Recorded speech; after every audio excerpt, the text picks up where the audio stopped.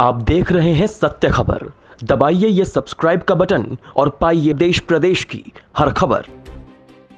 देवा फाउंडेशन की अध्यक्ष साध्वी देवा ठाकुर ने महिलाओं के ऊपर अत्याचार करने वाले लोगों को जानवरों की संज्ञा दी और सरकार से अपील की कि महिलाओं और बेटियों के साथ बलात्कार करने वाले आरोपियों को सीधे तौर पर फांसी दी जाए। साध्वी देवा ठाकुर आज इनेलो नेता गौरव द्वारा लाडवा में आयोजित कराए गए एक कार्यक्रम में युवाओं को संबोधित कर रही थी।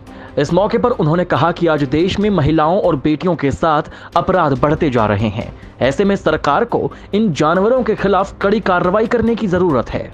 उन्होंने सरकार से अपील करते हुए कहा कि महिलाओं के ऊपर अत्याचार करने वाले लोगों के खिलाफ सख्त कानून बनाए जाएँ। वहीं महिला दिवस के मौके पर उन्होंने कहा कि आज महिलाएँ पुरुषों से किसी भी क्षेत्र में कम नहीं हैं।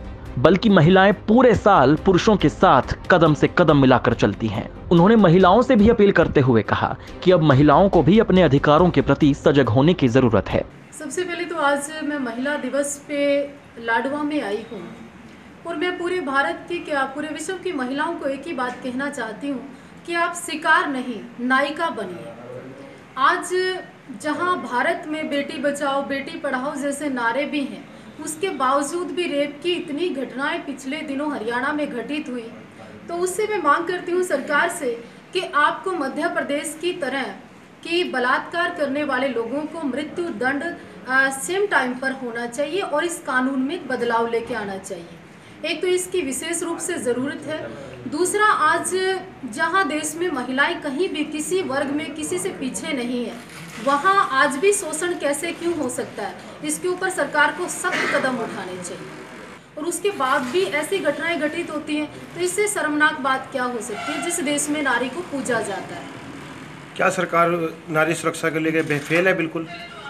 देखिए आज जहाँ तक सिर्फ़ बेटी पढ़ाओ बेटी बचाओ की बात करने के बावजूद भी आज रेसो जो बड़ी है बलात्कार के जितने केस पिछले साल सामने आए हैं मेरे को लगता है सबसे ज़्यादा।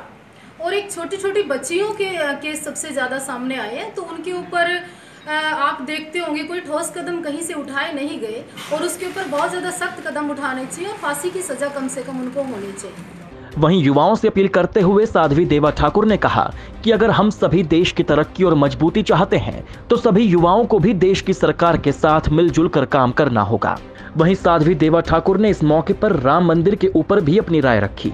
उन्होंने कहा कि अयोध्या में हर हाल में रामलला का मंदिर ज़रूर बनेगा। सत्य खबर के लिए लाड़वा से नरेश की रिपोर्ट। आप देख रहे हैं सत्य खबर। दबाइए ये सब्सक्राइब का बटन और पाइए देश प्रदेश की हर खबर।